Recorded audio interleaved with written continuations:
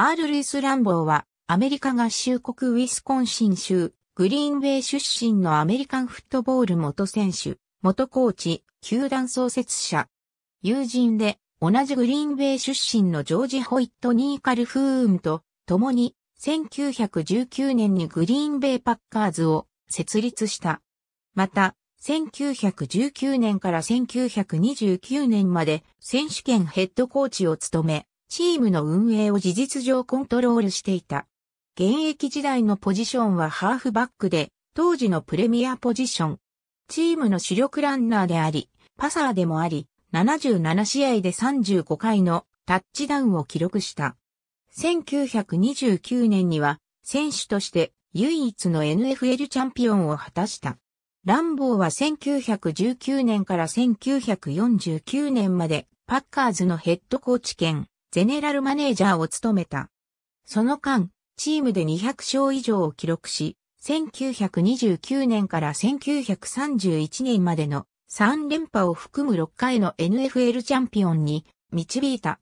現在、ライバルのシカゴベアーズのジョージ・ハラス、ニューイングランド・ペイトリオッツのビル・ベリチックと並んで、最も多くの NFL 優勝に導いたヘッドコーチである。ランボーはまた、プロフットボール殿堂入りを果たした8人の選手を指導した。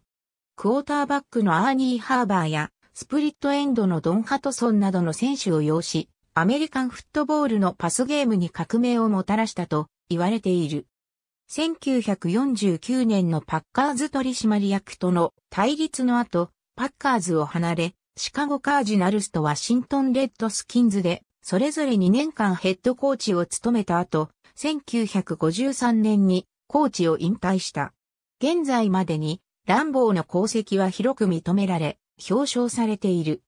ランボーはリーグ創設当初の10年間でトップハーフバックの一人として NFL1920 年代オールディケードチームに選出された。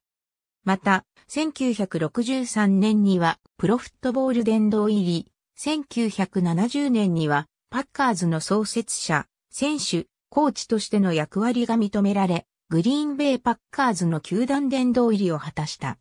1965年の死後間もなく、パッカーズの本拠地、ニューシティスタジアムは、ランボーに敬意を表し、ランボーフィールドに改名された。ありがとうございます。